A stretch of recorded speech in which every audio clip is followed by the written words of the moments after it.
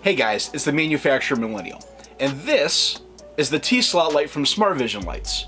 We've all had 8020, extruded aluminum or Bosch in our manufacturing equipment and our automated work cells where we want to add a little bit of extra illumination or lighting for our operator. Or we want to do a really unique vision application to add some low angle dark field light for our inspection. Now with this unique profile, we can slide inside our 8020 T-slot and be able to get cascadable, unique lighting for our application.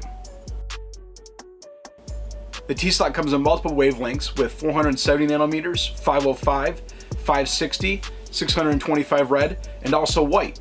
Now we can take up to six of these and cascade them up to 1800 millimeters in length with the 300 millimeter length increments. The lights run on 24 volts DC and there's multiple connectors provided by Smart Vision for your application. You got a two pin going in your M12 right here and you also have options where you can bolt your power strip directly to your T-slot and then this can power up your light with this cable.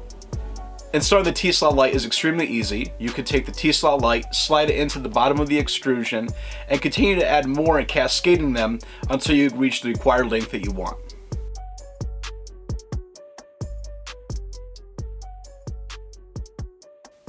Alright guys, thanks for checking out the T-Slot light from Smart Vision Lights.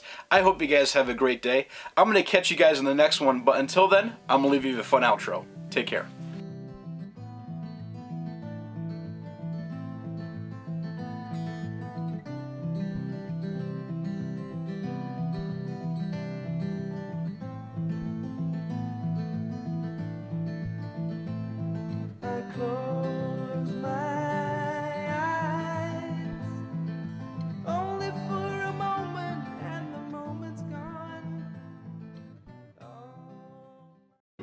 You're my boy, Blue!